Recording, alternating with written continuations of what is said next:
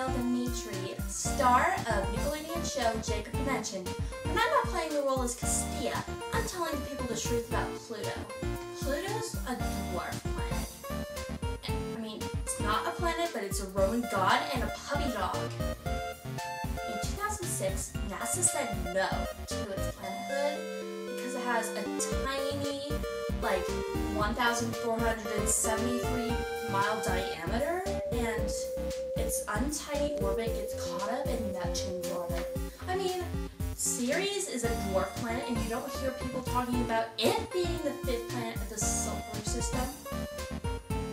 If you're if you're a person for information, vote no on Prop 413 and make astronomy great again. Hi, I'm Miss Casey Viceroy, a science teacher at Juniper High School, and I personally believe Pluto is a planet. According to mathematical data and photos taken by the New Horizons space probe, there are five moons that orbiting Pluto. Their names are Charon, Styx, Nix, Hydra, and Kerberos. Look, I'm not saying Mercury and Venus are planets because they don't have moons, but guess what?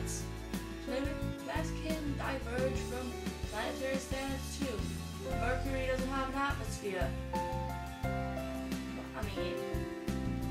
Jupiter large enough to be a star. Saturn's dense enough to be a star. Uranus is totally whack. Has a whack orbit. And whatever. You know, if Pluto isn't a planet, then youngsters worldwide will not be interested in astronomy anymore. Have a heart.